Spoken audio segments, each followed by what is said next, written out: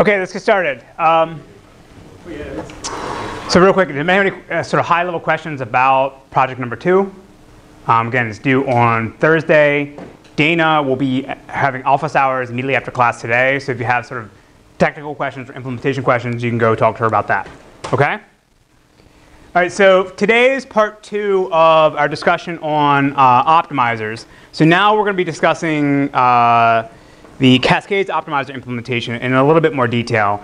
And then we'll sort of go over at a high level what the Orca optimizer, in the paper you guys read about, what, what it was actually doing. Because um, Orca is a sort of modern implementation of the Cascades framework. Um, and so it's, it's not so much interesting to read the paper about how exactly you do Cascades, because we sort of covered that last class, we'll cover that today. Uh, but I think it's an interesting paper to read to see, see about like the things you have to sort of maybe worry about when you actually put an optimizer in, in a real system. And then today is also the release of uh, project number three. So we'll update the website later on today. Uh, but I want to go through at a high level some of the different project topics that you, you can consider with your group. Um, because on the Tuesday after spring break, uh, all of you in your, in your group will come and do a five minute presentation about what your topic is going to be. So I just want to go over at a high level again, the kind of things you, you, you can explore. All right, so just as a refresher from where we left off on Thursday last week, right? We're talking about now, you know, queries coming in, and we convert them into some kind of logical plan. And the, the goal of the optimizer is now to figure out the best physical plan for the uh, for that query that produces the correct result, meaning it, you know generates the, the the plan generates the answer that you were looking for, and it also has the lower the lowest cost. And remember, we said that cost is, is highly dependent on what kind of database system you're building, what the operating environment is. And so we'll discuss more about that on, on Thursday. And our, for our purposes in this class or this semester, we're really focusing on you know, in, single node in memory database systems. So it ends up being counting the number of tuples you have to read or write is, is the, the main thing we want to use. We also talked about how this is like the hardest thing you can possibly do inside of a database system. Uh, to generate these query plans because the problem is known to be NP complete. So no optimizer is actually going to implement a, you know, even though it's called an optimizer, it's never really going to find the optimal plan just because the search base is so, so, so large. And so instead what we'll use a bunch of heuristics like we saw in the system R case when they were only looking at left, uh, left deep trees. We use these heuristics to prune out some, some candidate solutions or candidate plans to reduce the number of things we have to look at. And again, the way we'll determine whether one plan is better than, another, better than another. We'll have some kind of cost model to be able to do an estimate of what we think the database system is going to have to do to execute that query, right? Because we can't possibly actually just you know run the real query and see what the result would be because that if we're looking at you know possibly a million different combinations of query plans for a single query, that would be just too slow. So again, the, the overview of where we're at is again the query comes in, we parse it, we bind it, and for our discussion from last class and this class, we're really focusing on this part over here. This is where we actually do the search to find a better, uh, better plan. And I said before that the tree, tree rewriter, depending on what kind of optimizer framework you, you implement, this may be inside the binder, it may be inside the optimizer as like the first stage in a stratified search model. Um, or you may be, like in the case of Cascades, you don't have this at all, right? Because this is sort of implicit in the, the unified search model. So last class we had gone through five different choices or, designs you could have for, for how you implement your optimizer. And this sort of was going in a chronological order of in time. Right? So in the 1970s, we said that Ingres and, and Oracle implemented these, these really primitive heuristic-based optimizers that had a bunch of hard-coded rules written in whatever the, the language, the, the, the code, the database was written in. In the case of Ingres, because uh, they were really, you know, early, early Unix adopters at Berkeley at the time. Everything was in C. Um, and so these things have some rules written in procedural language that allow you to do the, the transformation. This is essentially the tree rewriting phase that I showed in the last, last slide. And then we had, later on, the system R guys came out with something that did the heuristics that the earlier guys did, plus this cost-based uh, search model or search algorithm that will evaluate the different join orderings for what you can have for your query and choose one with the best, the, the lowest cost. Then we talked a little bit about these randomized search algorithms, so the simulated annealing, and then the, the genetic search, search algorithm Postgres. And I said, other than the, the genetic algorithm Postgres, nobody actually implements this because it's hard to be able to debug and, it, and it's difficult to have deterministic query plans. Then we talked about stratified search and the unified search. And, and the main takeaway from this, all this discussion is that in, in a modern database system, this is really the two different uh, choices you have to consider, right? Um, the stratified search is all about taking a logical query plan and using the same kind of heuristics that the Ingres and Oracle did in the beginning and just do these transformations directly. All right, you have to do a little extra work to make sure that you're doing the correct transformation. Like if you care about the, the sort order or something, then you have to sort of bake that into your heuristics to consider that. But everything that happens during the rewriting or transformation, this transformation, phase, is doesn't consider the cost model at all. So you just know there's some hard and fast rules that you're always going to want to do, like predicate pushdown, limit pushdown, things like that. Uh, and you don't need to, therefore you don't need to evaluate the cost to do this.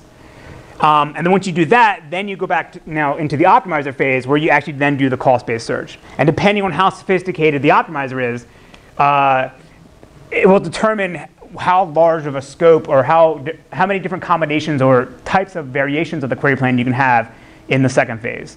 So like in the um, in system R, they only looked at join orderings. In uh, in Postgres, they pretty much only look at join orderings, and in like uh, DB2, they can do they can do other things. They can deal with CTEs and um, order bys and group bys, th things like that in, in the actual search. And then, okay, so yeah, in Postgres, right? Postgres is actually a, a, a modern implementation, or modern in quotes, of the stratified search in addition to DB2. And I think it's really interesting to talk about this because, in my opinion, the unified search is better. But rather than just me coming and telling you guys, hey, it's better, uh, I want to show you why the stratified search has some problems. And in particular, the, the Postgres query optimizer, when I talk to like the Postgres developers, they always sort of like hem and haw and say, oh yeah, we, we know about its problems, we know about the issues. It's, it's kind of a, um, it's a mess of a mess of the code and, and that, that no one's really uh, willing to spend the energy and clean up and do right. So in Postgres, and they're optimized, so they had this real rigid workflow on how you're going to do all the, the, the, the various transformations in, in, for the query plan. Right? And this is the stratified search, where again, you're going from one stage to the next. So in the first stage, you're going to do all that initial rewriting that we talked about before, again, in, from, from, from Oracle and Ingres, the predicate pushdowns. Then you have the cost-based search to only find join orderings. And then everything else that you could possibly have in the query is then tacked on to the query plan after it comes out of this. So again, common table expressions, having clauses, group bys, and things like that. All of that is sort of, again, with more heuristics applied to the, the query plan after it comes out of the cost-based search model.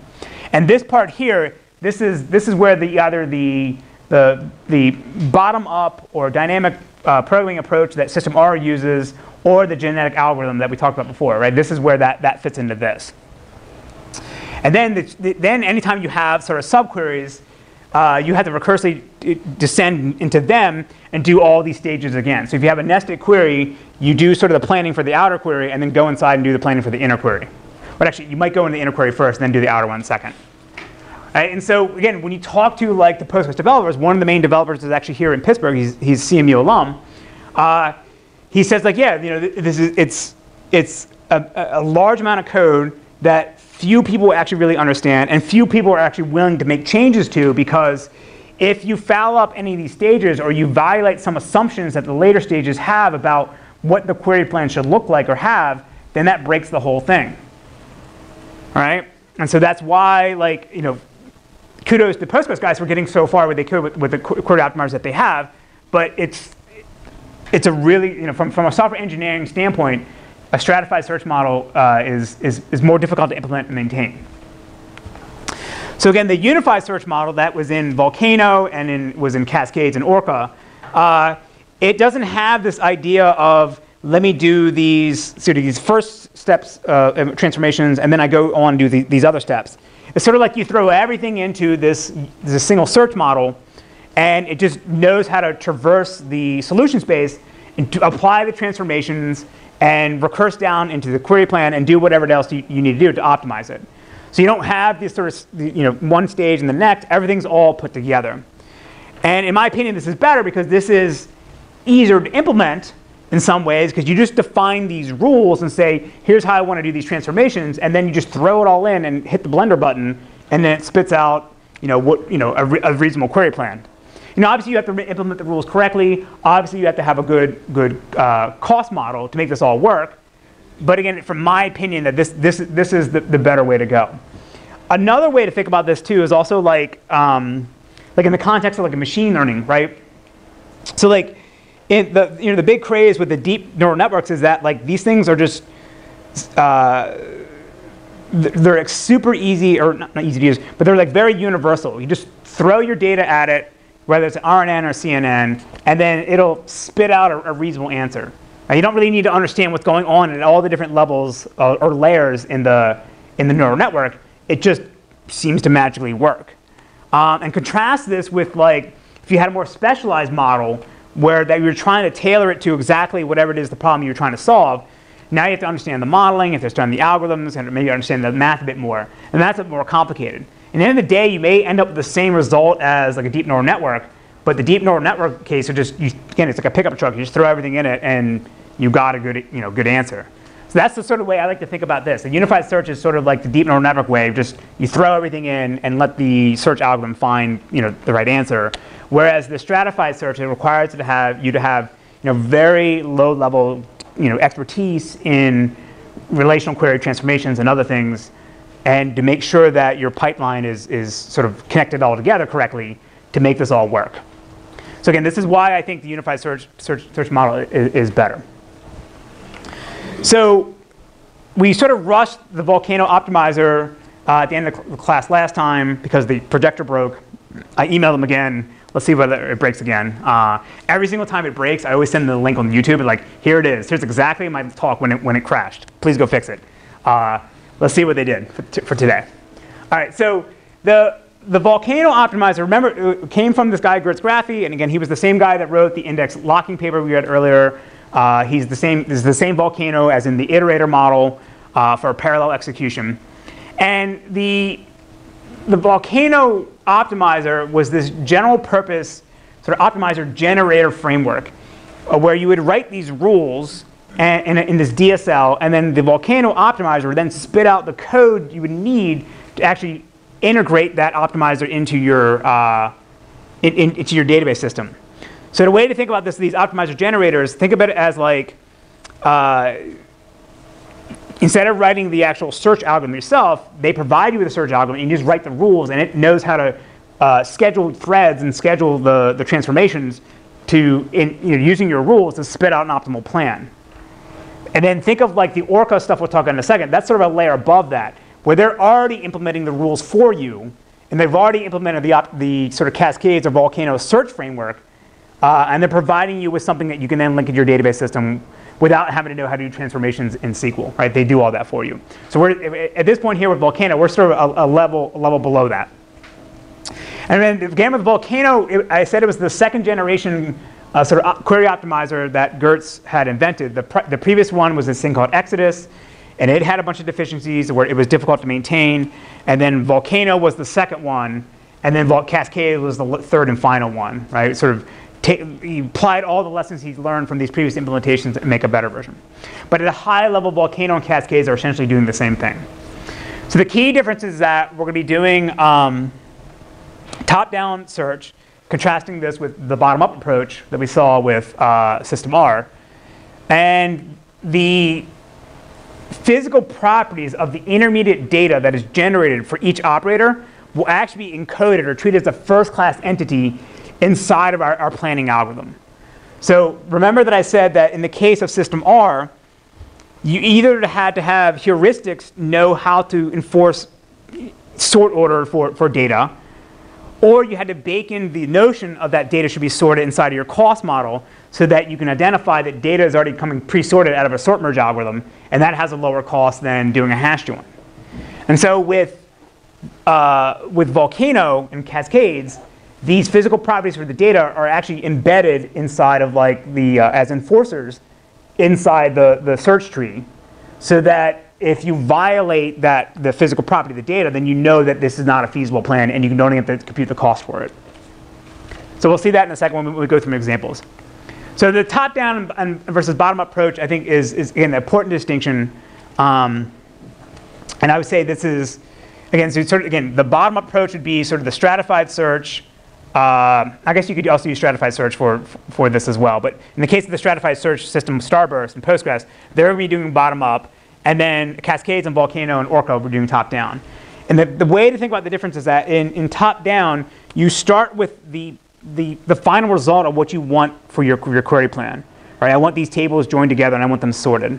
And then you search down into the tree to find what operators you need to add to your plan that will get you to that, to that, to that point. In the case of the bottom-up optimization approach, like in the divide and conquer method, you start with without anything, right, with just, just your tables, and you figure out what, what operators you need to add in your path to get to your end goal. At a high level, this seems like I'm just sort of, you know, it's parsing semantics and there's no really major difference. But when it comes to time to actually impl- implement this, um, we'll see in the, when we talk, talk about the, the, the memoization table in Cascades, because in the top-down approach, you may be actually revisiting, revisiting different operators because you're going up and down the tree multiple times. In the bottom-up approach, once you sort of pass, once you sort of evaluate one stage of the plan and move on to the next stage, you never go back and revisit things because you've already made your decision about what was the best, the best, uh, the best operators at, at, at, each level. And so again, for this, I, at a high level, I, I, think the research says that there's no real, you know, these, the, both these things will produce roughly the same answer. And is my opinion, again, that I think this is the better way to implement this. Um, but it does have a uh, storage overhead or memory overhead when you actually run the algorithm, and which is what they're going to try to solve in, in Cascades. So I want to go through the example that I was trying to show last time with Volcano. It got rushed at the end because the, predictor had problems. But it's a really simple database with three tables, artist, album, and appears. And appears is a cross-reference table that has foreign key uh, pointers to both, both of these two tables here. And so the query we're going to try to generate a plan for is this three-way join between these three tables uh, where we want to look up, define all the names of the artists that appeared on my mixtape, and we want to sort them by, by their artist ID. So the first stage do Volcano is that we want to start out with the, the, logical plan at the root of the search tree that contains the, the final result that we want. Right? The, at a logical level, we want our artists, appears, and album tables to be joined together, and then we want our thing to be sorted by the artist ID. So this is essentially the, the enforcer property that I talked about before. Like we were saying that anything that comes into this to produce the final answer has to be sorted by this. And anything that would, that, that would produce a result that would feed into this that, that did not enforce that would th- then be considered invalid and we just throw it away.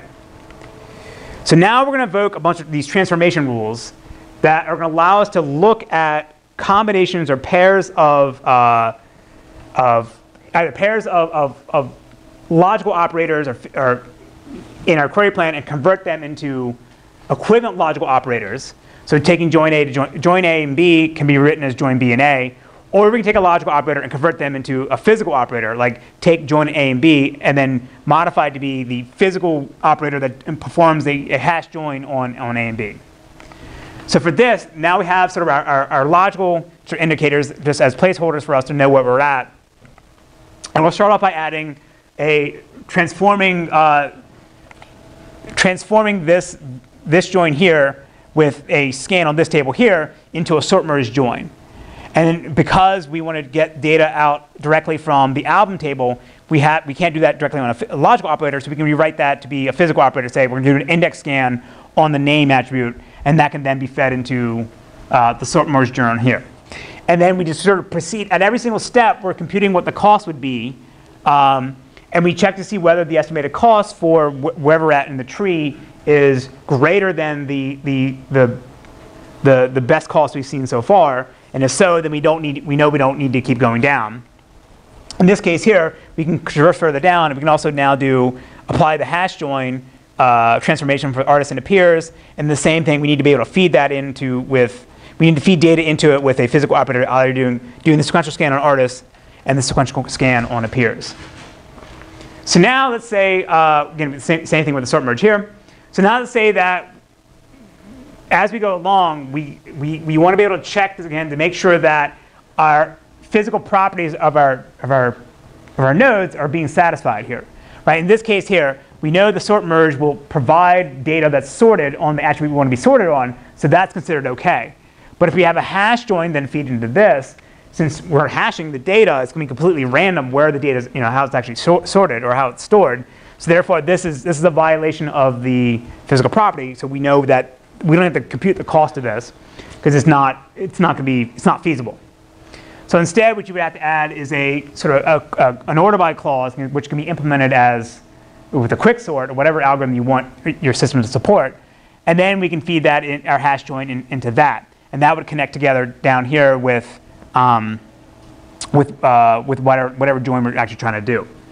So the, in this case here, since we already know that there's some plan probably here through the sort merge that has a lower cost than us having to compute the hash join on this plus the sort, right? Because the sort adds additional computational costs as well. We know that this will never be less than the, the, the, the, the best plan we've seen so far so we, we can cut it off right here, and we don't need, we don't need to go down and, and, and do additional transformations uh, at lower points in the tree. And this is sort of classic branch bound search, um, but what's sort of changing is that as we go down from, from level to level, we can dynamically apply those transformations. So that's one of the big differences with Cascades and Volcano. In Volcano, you would pre-populate all the trans transformations ahead of time.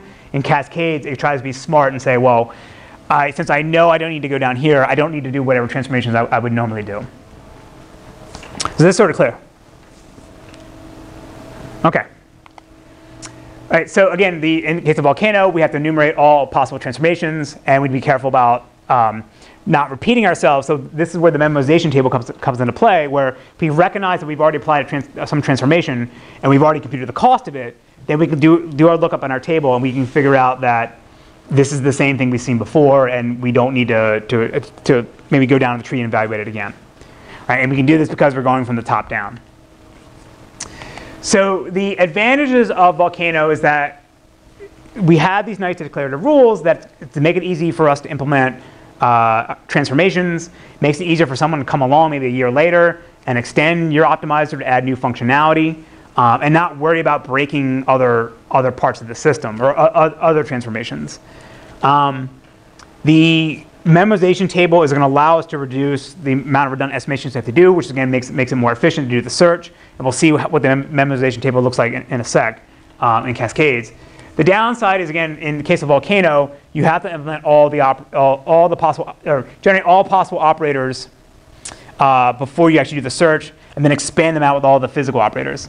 And in the case of this original implementation, it was not also easy to implement uh, uh, rewriting of predicates. Right? Things like, you know, say where equals where a equals one and one equals one. Obviously, one equals one is always true, so you don't need to evaluate that that predicate.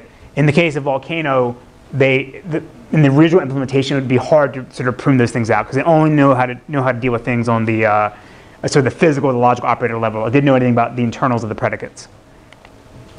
All right, so then uh, a few years later, Cascades came out. And again, Cascades is essentially optimizer, or sorry, essentially the same thing as Volcano, but it's object oriented because that was sort of the rage in the 90s. Um, and they simplified how you can do expression rewriting uh, to allow you to, again, sort of have sort of sub rules to take the where clauses of queries and rewrite them to be, you know, to, to, to be a, a, more compact form that was more efficient. So I think I alluded to this last time, but this is, I consider this the state-of-the-art approach. Um, uh, I consider this also be the better approach. And this is what SQL Server uses. This is what was in or, uh, Orca. Um, there's a uh, Java-based implementation of the Cascades framework called Calcite. That's part of the sort of the Apache project. I don't know whether uh, like you know, Hive or Presto, or those guys actually use this. So I, I, I don't know what system actually uses this. And then, as I said before, this is a work in progress for us. Like we're, you know, one team is actually actively working on building our Cascades framework right now. And so hopefully we can make some progress with that uh, pretty soon. I think also too, uh, I should add this. MemSQL uses this. Um, I think what other systems? But Postgres doesn't. MySQL doesn't. SQLite doesn't. DB2 doesn't. Oracle actually I don't know what they do because they're kind of cagey about it. But um, yeah, so again, this is, and we'll see in the paper you guys read next class, SQL Server will, will SQL Server's optimizer will not only have the best uh, cost estimates, it'll produce the best plans. Of all, all sort of these commercial systems. Right, so the memo table is again a really important part of this. Uh, and the way to think about it is essentially it's, a, it's like a graph structure, it's stored in a compact form that will keep track of all the different sort of alternatives or transformed physical operators we, we produced in our query plan when we're searching them for a single query. And it's allowed us to quickly identify, like when we do a transformation, oh, do we already have we already seen this this resulting you know, operator before? And if so, what was the cost? So it's sort of a single data structure, a single way that, that the optimizer can store uh, all the different things that it's doing, keeping track of its history to do uh, memoization or deduplication and maintain the, the different cost information about the estimates that it's doing. So let's go through a, a quick high-level example. So say we have some query, uh, ignoring other parts of it. Let's say it wants to do a join on table R and S, and then we have a filter on A, uh, on the attribute A and R, and a filter on the attribute B and S. And so what you have here, this is considered a group in the memo table, right? Because you have sort of one sort of a collection of, of, physical operators, and then you have all the expressions that that can, can implement it. And these can be a combination of either logical operators or, or, or physical operators. And then what will happen is we sort of expand out the, these different alternatives you can have, the way to implement these different steps to be these, these, uh, these other groups here. So in this case here, to do the join on, on the two tables, I need to do my, my select on A, or sorry, on R with the predicate, and the same thing with the select on S with its predicate. But I can also rewrite the, the plan in a different way to maybe uh, put the, the, the, predicate on R above the join, um, and then just do directly on, on the join on these two guys here. So then this thing would map over to, to, to other subqueries. So you can have these groups point to other groups, and this sort of forms the tree as you go down. So now for these guys here, to actually do the scans with the filter, then you would have a physical operator that says, here's how you actually want to do the scan, either like a sequential scan or an index scan. And again, at each of these different phases, you can compute the cost of, of, of that particular operator, um, and then you aggregate them together, and that tells you the complete cost of, of the entire query plan. Right? And you can see this when you look at like using explain in Postgres, it'll show you the tree of all the, the physical operators it's going to have, and then for each one, it's going to have uh, you know, its estimated cost range. So that's the same, same, essentially the same thing as a group, but it's not directly a one-to-one map between a physical operator and, uh, and, and, logical operators, because you can do different transformations and, and can go from one to n or n to one. So again, it's a, thing, it's a giant cache table that keeps track of all these things. So I talked a little bit about predicate expressions in the case of Volcano. Um, the way to think about how predicates are represented in, in the query plan is that they're essentially like, like a subtree in the query plan tree. Like your where clause can be can be stored as all the predicates inside the where clause can be stored as essentially as as its own abstract syntax tree. Like you know, a equals one would be equals at the root, and then a and one, and then you can evaluate those things to produce you know produce whether something's true or not. Um, in the case of Postgres, they end up flattening out the entire tree into a single single list and they can just scan across it and apply it that way. It's, that's not essentially faster, it's just sort of maybe easier for them to reason about.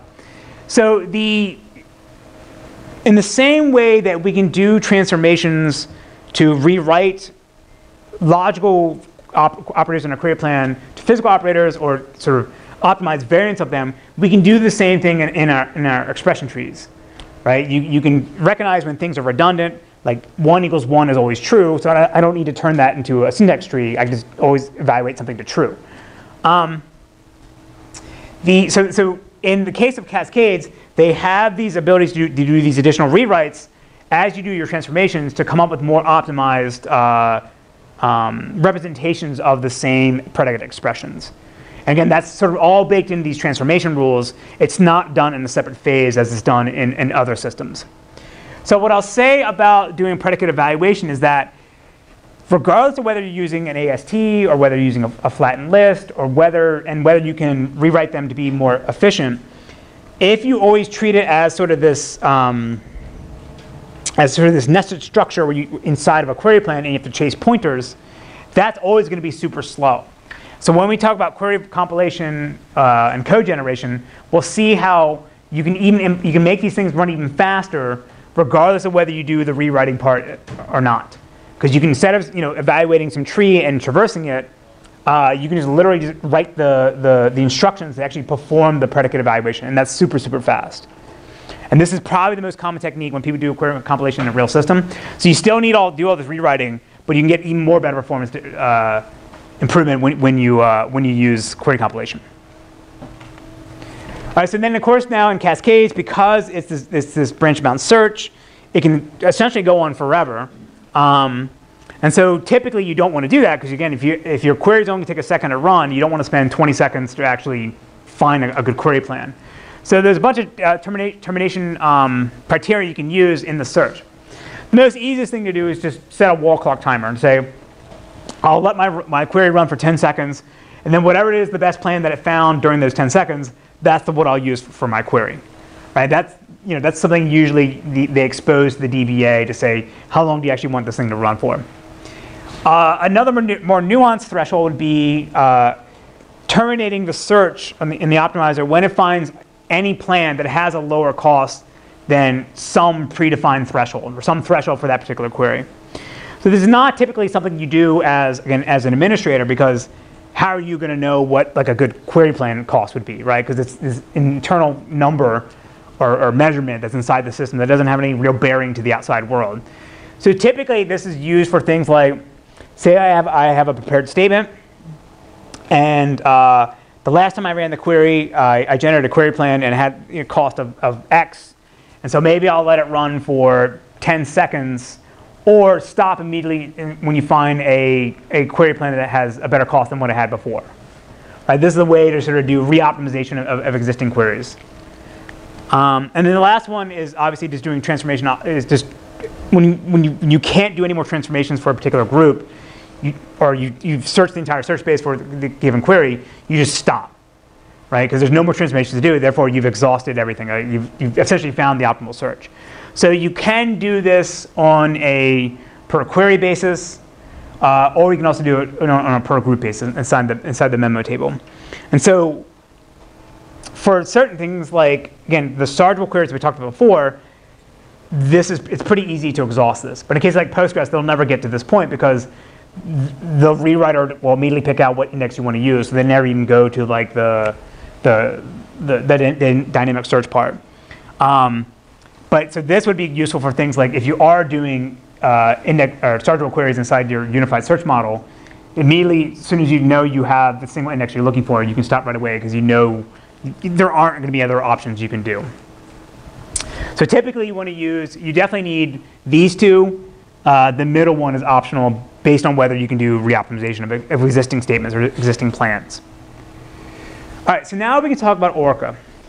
So again, the there is a Cascades paper that I didn't have you guys read, and the reason I didn't have you read it is it essentially says a lot of the same things that was in the volcano paper.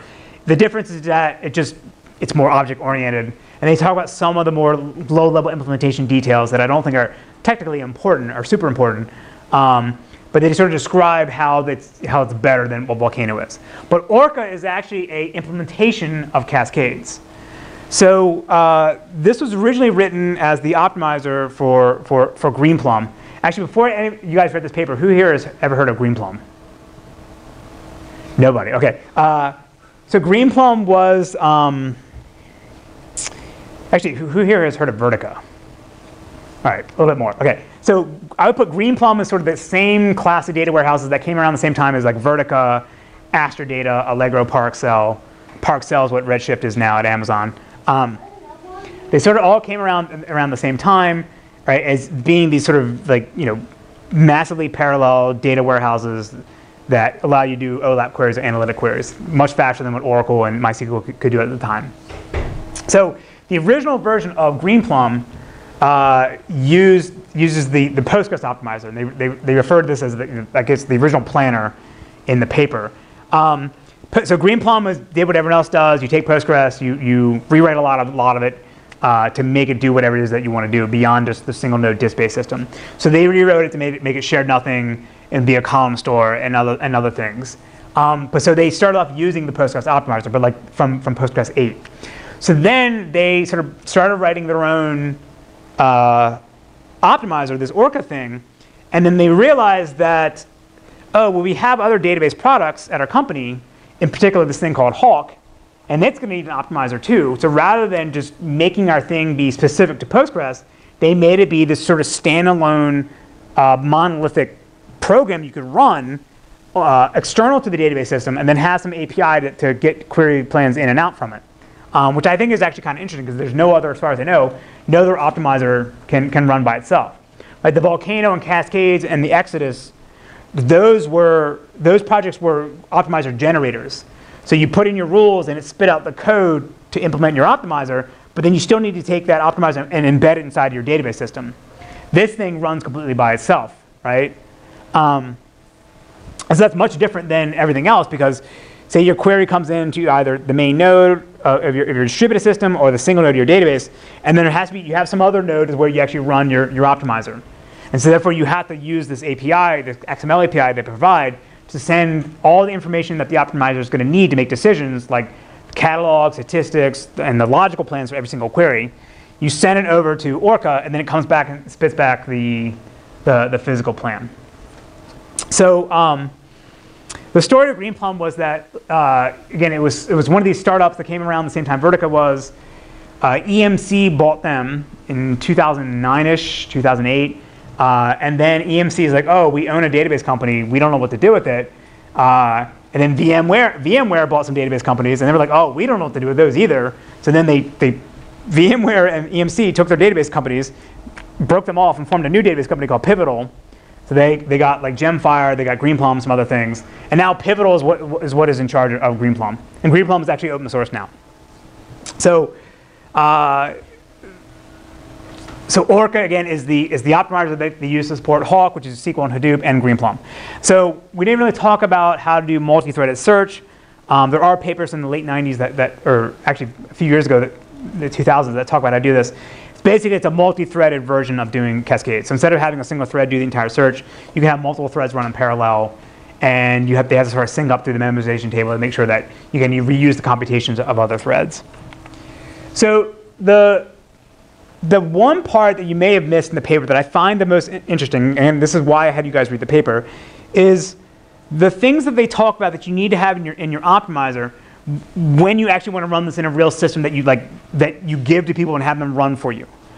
Um, so they talk about how to do some additional uh, components that they had to add to their optimizer so that when it runs out in the real world and has problems, uh, they know how to you know, figure out what was going on without requiring the client or the customer to give them remote access to the database, because it's, it's, very often the case that they're not going to allow you to do that. Um, so they talk about this thing uh, about doing remote debugging remote and dumps, where if the, the optimizer produces some kind of error or ends up in an incorrect state, they can basically do a core dump of the entire state of the optimizer, including like not, you know, not just you know, what are all in the variables and the registers, but also what were all the inputs and other factors, environment, environment variables that were going on in the system when this error occurred. And then they can ship that dump back to them at, at, at their, you know, at, at their offices, and they can feed it into the optimizer, and then it'll put it, sort of replay the, the search and put it back into the same exact state that it was when the problem occurred at the customer's site. So I, I think this is really clever because this is the well, allows you to like again when problems occur, to do all the debugging in a very complex piece of software that is, in some cases, non-deterministic, to figure out what it was that put it into that state that caused it to fail. Again, if you have a 6.7, just do a core dump in, in your C program, you get just the backtrace and the, you know, whatever, whatever's in your, in your registers and heap. Right? You don't get all the history of what it, how it took to get to the, the point where it hit the error that it got to. All right, so I think that this, this part here is actually very, very, very interesting. Um, this is probably something we should include in our own system, but we're not there yet. And it's actually kind of interesting too, like, like again, this is something you have to do when you have people running your database system on premise, right? If you're giving people software that they run on their own machines that you don't control, you need something like this. If you're a cloud-based database system like Redshift or whatever RDS stuff or Snowflake, um, or whatever the RDS software that, that's out there, like you control the entire environment. You control the software. You control the hardware. So if your optimizer gets, gets in a weird failure, then you just you know SSH into the machine that failed and you know hook up GDB to it to figure out what was going on. Right? You can do that because you control everything. But if you're giving people software that they can run themselves, then you, I think you need something like this, which I think, is, like I said, I, I thought this is, this is clever. And then the next thing they talked about too is also how they do testing to make sure that their optimizers and cost models are producing accurate estimates.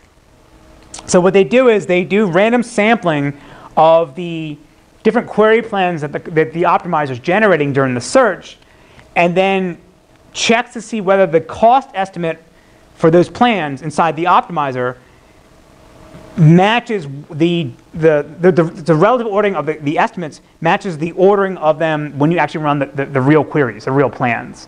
So if I, get, if I get two query plans for the same query, query A, query B, and say the cost estimate says that query A takes 100, right, 100 units, right, it's an arbitrary number, and the other one takes 200, when I actually run them, I want to make sure that if this one, run, this, this one runs in one second, this one should not run less than one second, because my estimator said that the first one was faster than the second one.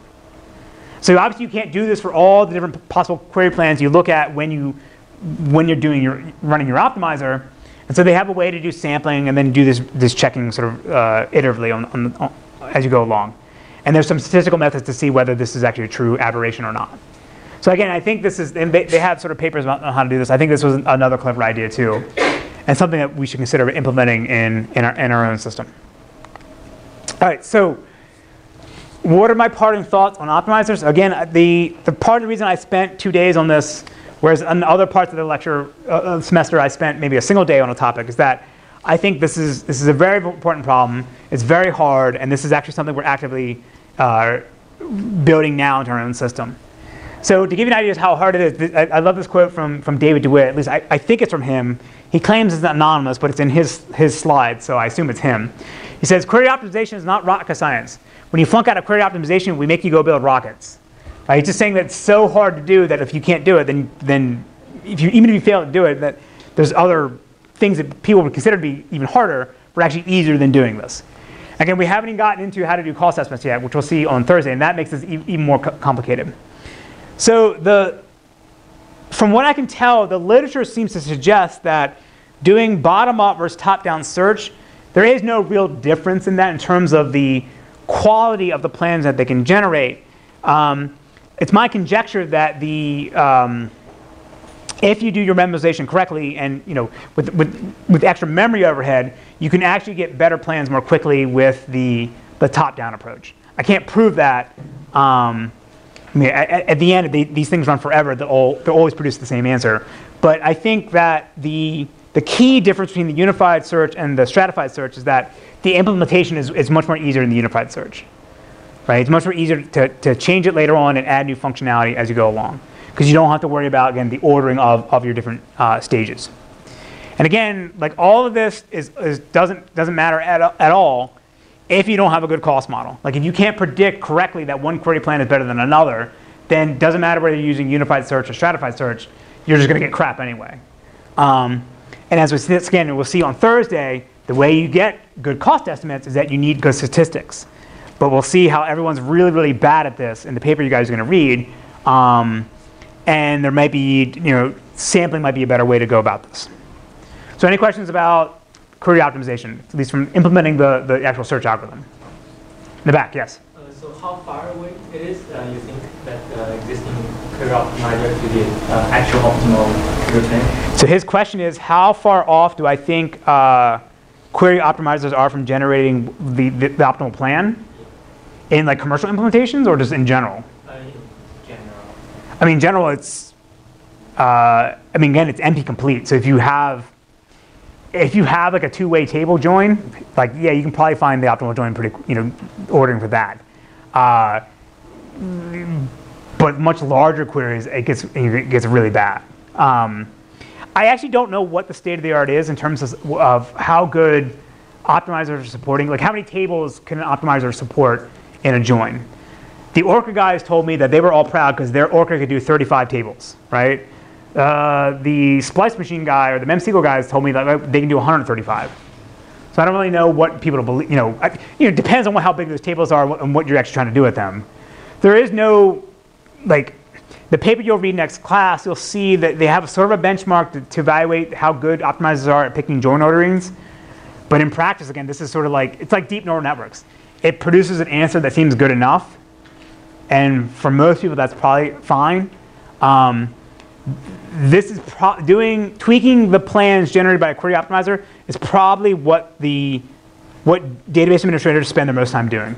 Like the optimizer just simply just gets something completely wrong, and they go back and you dump out the, the, the XML of the query plan, tweak it in a tool, and load it back in. That's, that's a very common task that administrators are doing now. So I would say, again, I, I think, um, again, I think this all hinges on having good statistics. And once you start doing a bunch of joins, your statistics get way off, right? Because you're trying to derive statistics from derived statistics. It, it gets really bad. So a small error in the sort of lower levels of the query plan can get exacerbated or uh, you know blown up much much much higher degrees as you go up. So to go back to your original question, I don't know I don't know how far we are. My intuition is that from talking to people that we're pretty far away. Uh,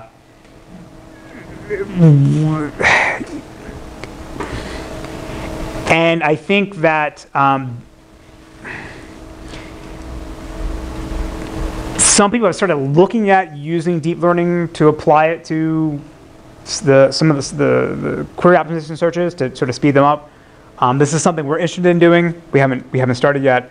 Um, it's not clear whether there's any sort of magic bullet coming down the pipeline that's going to make this all go better. Like, there's not going to be, I don't think for the hardware we have, there's not going to be some major algorithmic breakthrough that's going to make this all go better. The Cascades is, what, 20, 20 something years old now, and it's still considered sort of state of the art right? It's like quicksort. Like there's, there's no magic to make quicksort super fast for, for any possible use case. Like there's you know tweaks for it for very narrow data sets, but like in general, there's no magic way to make quicksort become you know much faster than it is now.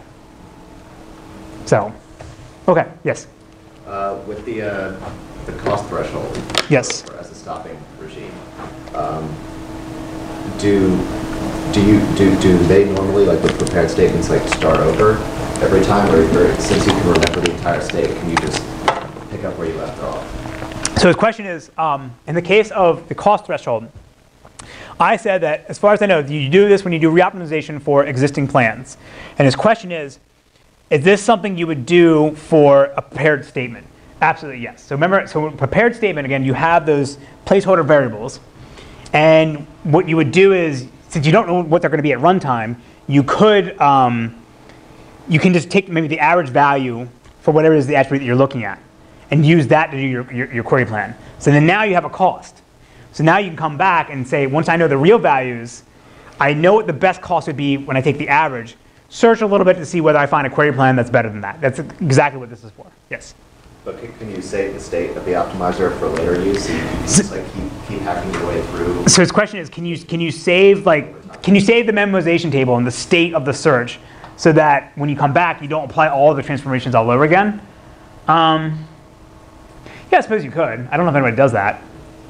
Um, again, I think this is this is only used, I think, in, in the commercial system. Like, I don't, I don't think Postgres would do this. And like, you have to force it to do a, a complete replanning, and it might just throw away what it what it did before. Actually, I'll say also too, the tricky thing about this is um, like the cost can change, right? So like, because the database can change. Like so, like if I do, if I generate a query plan for a prepared statement when the table is empty, it's gonna have one cost. Then I load in a billion tuples, and now that cost is completely invalid because like it, the database is much bigger than it was before. So in that case, I don't want to use what the cost what, what, what was from the prior one because I'll be searching for a lower cost that it's never going to be, you know, it's never going to beat the cost of what it was when it was, when it was completely empty.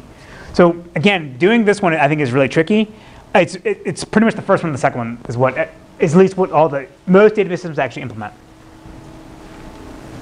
That's a good point. Yes. Yeah, sort of not. I guess I didn't really talk about this, but like, in the case of prepared statements, how do you decide when you replan? Um, I know in like commercial systems, you can force it to replan things, like execute the prepared statement and oh, go ahead and reoptimize it. Um, I think in like Postgres, you would just you delete the prepared statement and then, then recreate it. And that essentially does the same thing, but it's not automatic. That's a good point, though. Okay, so in the sake of time, any, any, any other questions? All right, so I want to jump to project three. Um, so again, the the final project for this class is going to be some, you guys are going to implement some new feature, new functionality, uh, or new component in the database system in Peloton. And it has to be a substantial amount of work, right? Because there's three people, you're going to have two, two and a half months to do this. So it has to be, you know, we, you know, we, you can't just say we implemented a nested loop join, right? It has to be something more, more significant than that. And so I would say that the way, the best way to be successful in this is that you obviously don't pick something just because I told you to implement it. You pick something that you're actually really interested in. So if you're doing research in, you know, in, in another class, you're doing research on your own as, as you know, in, in graduate school, uh, by all means, pick something that's related to what you're already doing. Like if you're doing PL research for whatever reason, if you want to, you know, maybe apply some of those techniques inside our database system, you know, that might be the right thing to do. So the only, so in the end, it'll be up to my discretion to decide whether your project has, has the appropriate scope. Um, and the key aspect of it is that you have to make sure that you, that you have to pick something that's unique from everyone else. So I, I don't want two people both implementing UDS, right? I want to make sure everyone picks different things. So what you guys are going to have to produce uh, during the semester are five things. So we'll talk about each of these steps as we go along, and these will be due at different points in, in, in, in the course. And that way, it's sort of like, like a, again, a, a checkpoint or a snapshot for you guys to make sure that you're, you're progressing as the semester comes along, working on the project, because I know how it's going to be at the end of the semester, come spring. It's going to be warm outside, and you're going to have a bunch of other stuff you have to do for all your classes, and I don't want you scrambling the last two days to try to try to finish your project because you're not it's not going to work because the amount of code you have to write is not something you can do in a short amount of time. So as we go along the semester, we're going to have different checkpoints to make sure that you are you are making progress. So on the first Tuesday after we come back from spring break, so it'll be two weeks from now, every group is going to have to come up here and give a five-minute presentation about what their what they think their, their topic is going to be about. So in this proposal, it isn't just going to be like, hey, we think this is cool, this is what we're going to do. I want you to spend time over spring break actually looking at the code or talking with me or Dana or the other people working on the database system to figure out what it's going to take to actually implement the thing that you're thinking about doing. Right? And the easiest way for me to, to know whether you've thought this through correctly is if you identify what are the files you're going to have to change. Right? Then you also should think about what are the test cases you're going to need to write uh, to check to see whether your implementation is correct. So I'll talk about the different modes of, of testing we can have in our system. You guys looked at like the unit tests uh, for your skip list and the compare function, but we have other mechanisms to do like SQL, SQL functionality testing at a higher level that you may want to use as well. And then again, for this, you also want to describe what are the workloads you're going to use to, to, to check to see whether your project is working correctly. Again, this is part of the reason why get, when you guys did the, the, the reading reviews, the synopsises, I had you list like what are the benchmarks or workloads they're using because when it comes time now to pick what you're going to do for project three, you don't have to figure out, you don't, you don't have to come to me and say, hey, I want to do, I want to do transaction stuff. What, what, what workload should I use?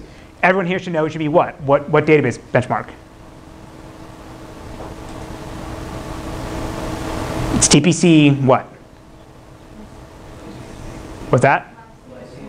No, no, YCSB is the Yahoo one. So, so the TPCC, there's all these different benchmarks, right? There's TPC-A, TPC-B, TPCC, CPD. What, like for, for, for transactions, what benchmark do you want to use for the TPC? C. If you're doing analytics, you want to use TPC-H, right? So just list which of these things you want to do. And we, we have code already written for you that you can just use. So you don't have to implement this stuff yourself. So then, uh, sometime in April, you'll do a status update. You basically come in and say, here's how far we've gotten in our system.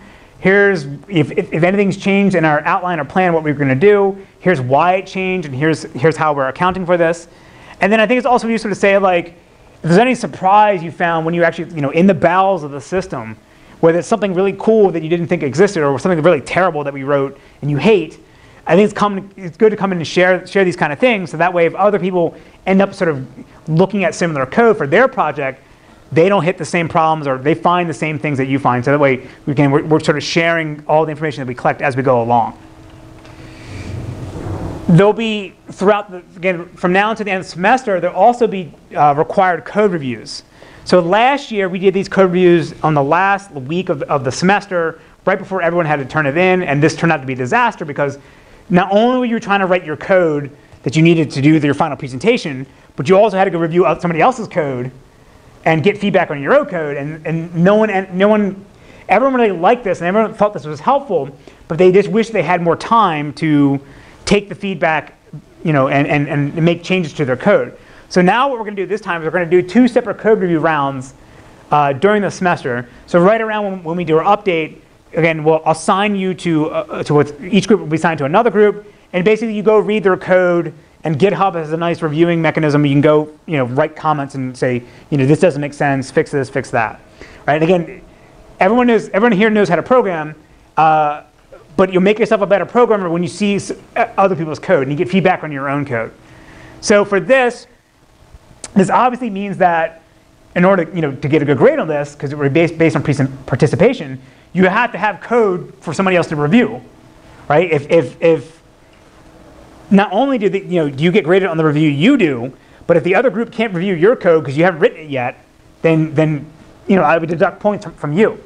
So it's very important, again, to, to, to treat this, this requirement very seriously, this deadline, to have code in a reasonable state for someone to look at and then provide feedback for somebody else. Because again, in the end, it'll make your project better.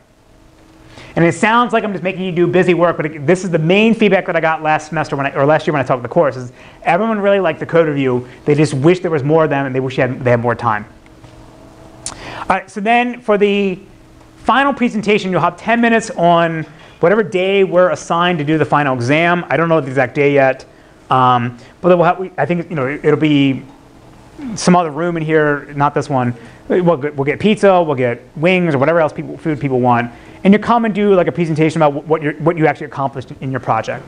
Um, and so this is when you want to include any kind of performance measurements you've done or benchmarking uh, with different workloads to see how well your implementation is actually working.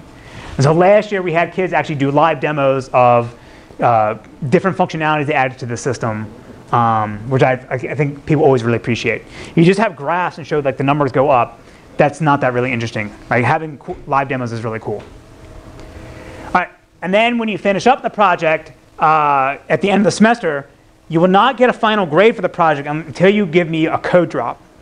And a code drop is not considered complete until I know that it can be merged without any conflicts without any test failures into the master branch. Any comments that you got or feedback you got during the code review process, all those are, are addressed and fixed.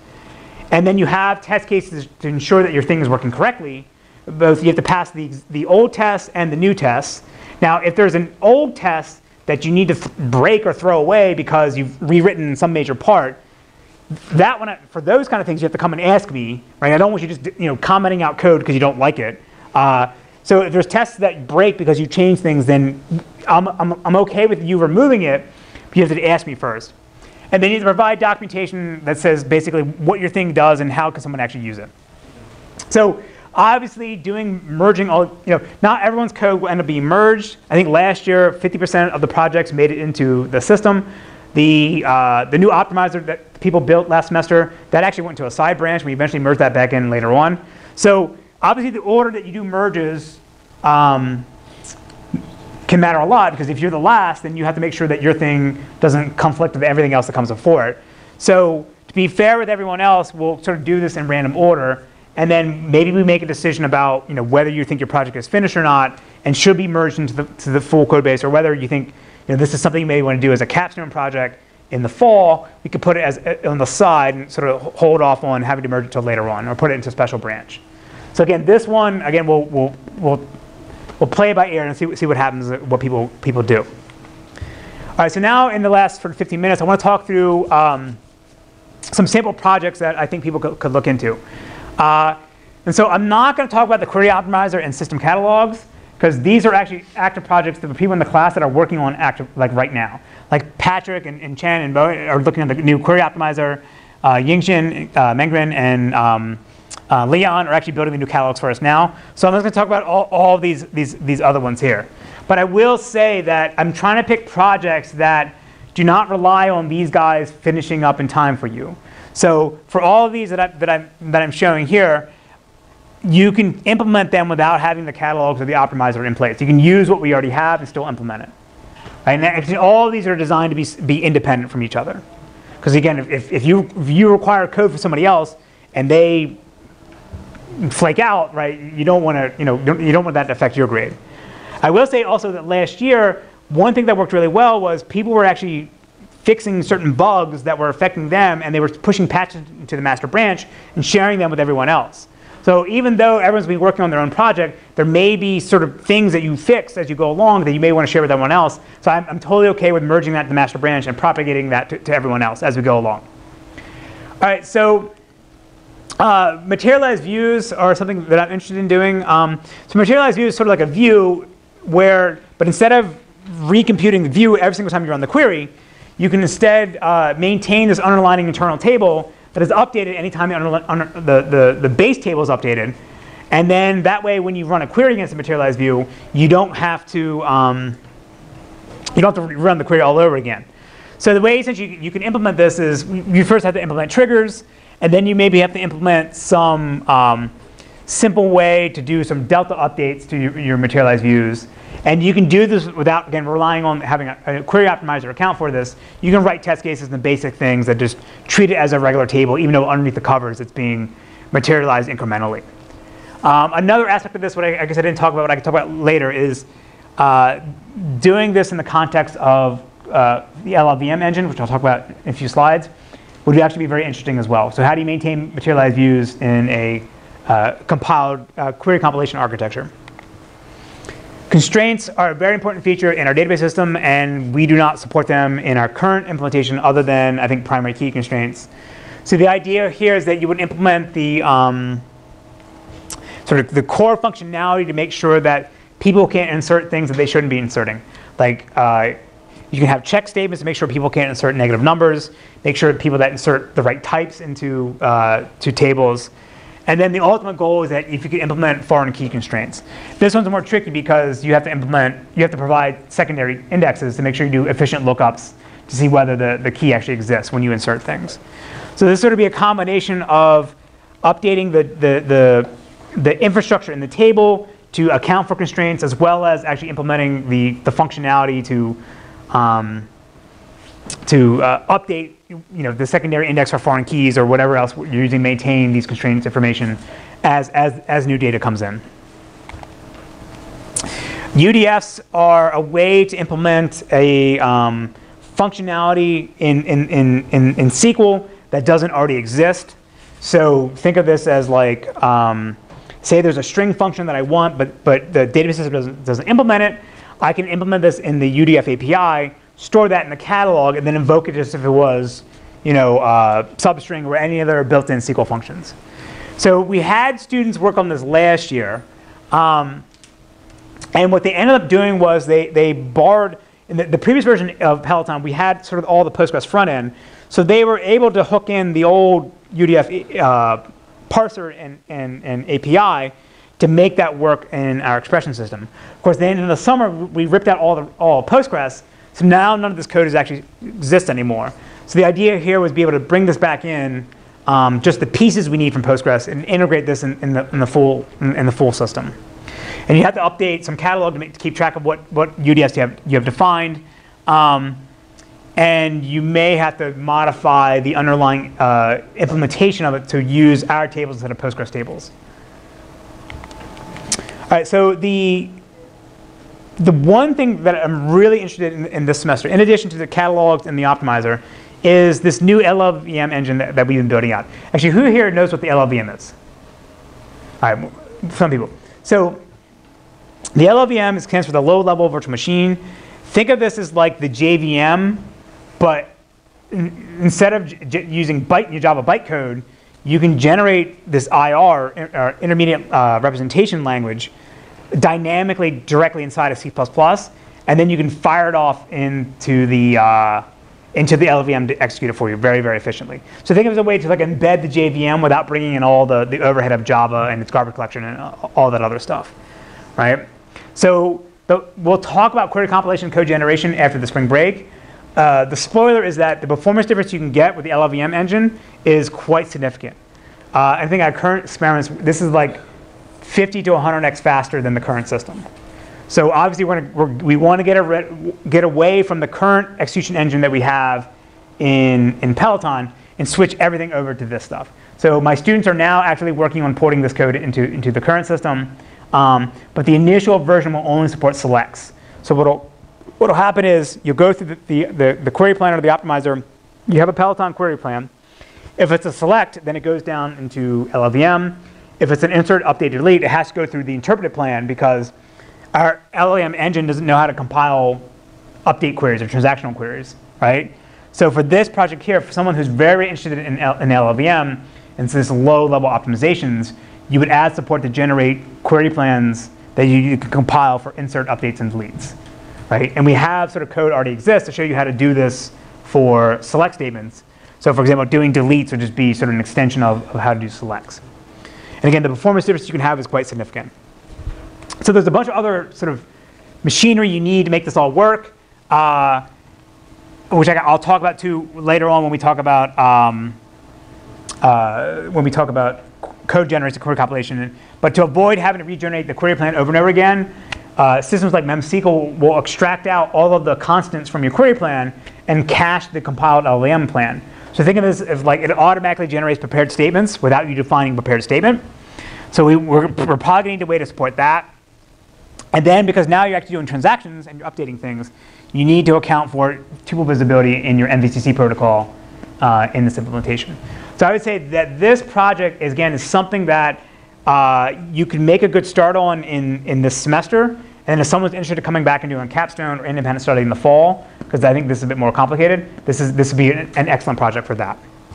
And there's, there's enough stuff to do in this that, that, um, that uh, we, can, we can find something for everyone. Okay, uh, the next thing we're interested in doing is, is adding support for multi-threaded queries. So right now, because again we were based, we were originally based on Postgres, we had this sort of legacy architecture, if you will, where a single query comes in and it's it's handled from beginning to end by a single thread. So you can't take a query and break it up into different chunks and have it multiple threads run at the same time. So we're interested in doing uh, to, to break this this this model and allow a single query to be broken up by different different threads. So we have one student that's finishing up code this month on disconnecting the networking threads from the worker threads. So there's now there's a there's a worker thread pool that can then you take tasks and execute them for the queries. But we're missing is the ability to take the query plan and break it up into to subtasks and have it run in parallel, and then coalesce the results and put it all back together. Okay, we'll talk about query thread uh, scheduling and execution, or multi- multi-threaded query execution scheduling after the semester. But the thing I would say is that makes this more tricky related to the LLVM stuff that I talked about before is that we don't want to do this for the interpreted engine. We want to do this for the LLVM engine. And that makes it a little more, more difficult. You can do this for the interpreted engine. We had students last semester do it. But doing it for LLVM is more complicated. And we'll talk more about how you handle uh, memory stored in different sockets and, and make sure that you assign threads to where to their local memory. Uh, again, a- after the uh, after after the spring break. Uh, we're also very interested in database compression. So we talked about dictionary encoding, delta encoding. So the idea here is that you want to you want to add support for this inside inside of Peloton. Um, and the nice thing about this is that I think that if we do this correctly, the compression scheme can be independent from all the upper levels of the system. So you don't have to worry about modifying the, the executors or modifying the query plan or the optimizer. You just implement all this compression directly inside the, the, the data tables, and I think everything should just work. Um, I would say dictionary encoding is probably the, the better one to do instead of delta encoding, right? Because it's more general purpose. And again, we want to do this in an environment where not only are we running the OLAP queries, but we're going to run transactions to update the database. So we, need, we, we may need to modify the dictionary as it goes along. Uh, the next one that we're interested in doing also too is adding support for alternative networking protocols. So currently we only support ODBC, or not, we support JDBC and the P-SQL wire protocol. Um, but it's very common now to have different interfaces or different methods for people to read and write data in, in your database system. So in particular, we see a lot of database systems adding support now for Kafka or Memcached. And the idea here is that instead of writing a SQL statement, you could implement to you know, do a get or a set, you could implement the Memcached protocol and go directly you know, to, to the system and not worry about parsing SQL, just do a direct call. So we had a student actually work on this last semester, or actually last year, uh, so we have some of the memcache code that you can reuse, um, but we don't have any of the Kafka code. And so if someone's interested in doing Kafka with ingesters and, and, and I guess what are, what's the, what is the Kafka parlance for sending data out? Emitters, right? So you, if you want to ingest and, and send out data to Kafka, you can implement that.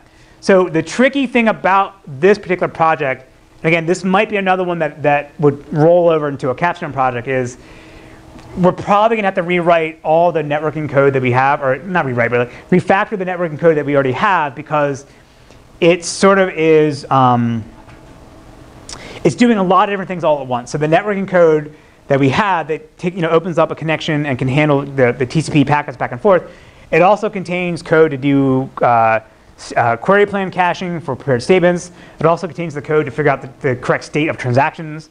So in the current implementation, it would be not very easy to, to implement these two additional protocols. You want to refactor the code and make it a bit more generic. So again, I, I can talk more about this uh, uh, later on. Uh, the currently in our database system, we don't maintain any we, we don't maintain any statistics about what's actually inside the database. So we can't tell you the cardinality. We don't have any histograms for what actually it, the values are for the system. Um, so for this project, you can implement all the mechanisms you need to actually collect this data. And there's two basic approaches you can do this. You'll see in the paper next class. You can do this lazily, uh, sort of in the background, you collect statistics and, and store them in your catalog. Or for every query that comes in, you can maybe do some, some little bit of sampling of the data and figure out what the estimate should be uh, on the fly. Regardless, you know, whether which one you, you choose, it's up to you. But once we have the ability to now collect statistics that's needed for a particular query and some predicate, it'd be nice if we could sort of wrap all this together into a new cost model, which could then interface with the, the optimizers team new, new Cascades implementation. So that's sort of be the stretch goal for that. All right, and then the last one is to do alternative storage. So for this one right now in, in Peloton, we can only store data in our in-memory storage engine. Um, in things like Postgres, they have foreign data wrappers. This is sort of like the, the I guess the reverse of the Kafka Memcache project, where instead of taking new stuff in and out, from at a query level, you're at the bottom level of the system, and you want to read and write data from some remote source. And so Postgres, you can do this with the foreign data wrappers. We had this in HStore with anti-caching, where you can, you can dump data out to, to disk when, when it runs out of space and memory. So the idea is that you basically implement a new storage API and have a clean abstraction layer that you can then maintain still the in-memory data table format that we have now, but then also read and write to so, so other external sources. And to start off, I would recommend using like LevelDB or RocksDB, something, something really simple. And of course, you have to update the catalog to make sure you know actually what, what's, what's being stored. All right, so just to finish up really quickly. So again, the, I went through really fast these different projects. I'll be around in spring break if you want to talk about, you know, go into more detail of what you actually, you know, think about doing. For testing, again, we have a SQL-based regression test suite that we're expanding right now that we can provide for you guys to make sure your thing's actually working correctly. But again, you're also going to be required to implement your own tests, whether that's done at the SQL level or the unit test level. Um, you probably want to do both, but to what extent you, you test things more than another, it's up to what you're, what you're actually doing. And then for the computing resources, you have all the machines that, for the MemSQL machines, that cluster you have access to. Uh, that for project one and two, you can use for project three. If you're doing a project where you think you need special hardware, then please let me know and I can get it for you. So last year we had students implement the, the SiloR logging and checkpoint scheme, and they, they wanted to have parallel disks to be able to test their implementation. So we went and got them some SSDs to put into the machines. So if you need something, uh, let me know and we, we, we, can make it happen. Again, none of you should be ever implementing TPCC, YCSB, or TPCH in your life. I have a open source benchmarking framework that implements JDBC that is ready to go and use for in Peloton for all your projects. I don't know where whether we I can I know for a fact we're not going to support all the workloads we have in here. Um, uh, we know TPCC works, TATP should work, and YCSB should work. The more complicated things, talk to me, and we, we can figure out ways to, to, get around this. Right? And this, this is sort of limited to, because our query optimizer is sort of hard-coded right now for TPCC and YCSB, uh, but as we expand it, we, we, we, should be able to support other stuff for you. But again, the bottom line is no one, no one here needs to implement TPCC. We already have it for you, ready to go. All right, so to finish up, on Tuesday, March 1st, 21st, which is the first Tuesday after you come back from spring break, everyone will stand up here and have to do a five minute presentation about what their project topic is, is going to be. Um, and you also have to send me a little paragraph just so I know what, what you're actually going to work on. So I'll send a email out with a link to a Google spreadsheet where you can again list who's actually going to be in your project group and what your topic is, is actually going to be. And that way I can make sure that everyone's doing something different. So I'll be around all during spring break. So if you have questions or want more details about any of the things that I talked about here, I'd be happy to meet with you one-on-one and, and discuss it further. So any questions about project three? All right, so next class, we'll spend more time talking about cost models. I will then also spend a little bit of time with sort of general hints about how to, you know, things to do when you start working on a large code base. In the case of the skip list and, and, the, and the compare function, you guys are only looking at a small subset of the system, right? You're only looking at code that, we pointed to you at and said, here's the files you need to modify. But in project number three, it's sort of, you could look at anything.